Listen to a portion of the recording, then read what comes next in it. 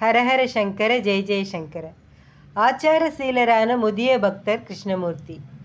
அவரோட பையன்களெல்லாம் வெளிநாடுகளில் வேலை செஞ்சுட்டு அவரோட மனைவி சமீபத்தில் தான் காலமாகியிருந்தா. இவர் மட்டும் இங்கே எப்படி தனியாக இருக்கிறது? பையன்கள் தங்களோட வந்து தங்கும்படி அன்போடு கூப்பிடுறா.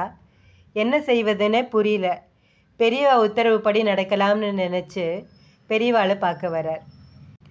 பெரியவாளோட பார்வை எங்கெல்லாமோ சுழன்றுட்டு கிருஷ்ணமூர்த்தியின் மேல் வந்து நின்றது. வெளிதேசம் எங்கேயும் போக வேண்டாம். வீட்டிலேயே ஸ்வயம்பாகம் பண்ணி சாப்பிடு. சரி பெரியவா காவேரி ஸ்நானம் சிவபூஜை ஜெபம் கோவில் தரிசனம் பண்ணிட்டு உன் அப்பா தாத்தா கொள்ளு தாத்தா மாதிரி கிராமத்திலேயே ஒரு ரிஷி மாதிரி இரு.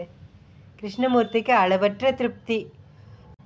அப்பனே குருநாதா கொஞ்ச நஞ்சம் இருந்த சஞ்சலத்தையும் போக்கிட்ட மகாபிரபுவே இந்த உபதேசத்தை கேட்கறதுக்காகத்தான் நான் வந்தேன் அப்படின்னு மனசில் நினச்சிக்கிறார். பிரசாதத்தை வாங்கிட்டு அவர் அங்கேருந்து கிளம்பி போனார். அதுக்கப்புறம் அந்த கிராமத்துலேருந்து யாராவது தரிசனத்துக்கு வந்தால் கிருஷ்ணமூர்த்தி எப்படி இருக்கான்? அப்படின்னு ஞாபகமாக கேட்பார்.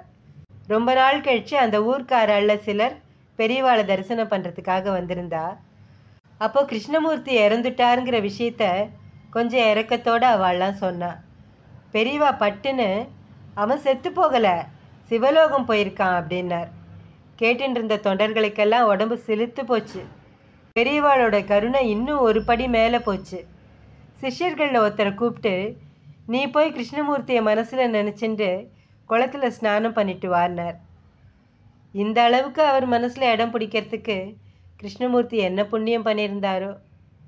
ஹரஹர சங்கர ஜெய ஜெய சங்கர. காஞ்சி சங்கர காமகோட்டி சங்கர.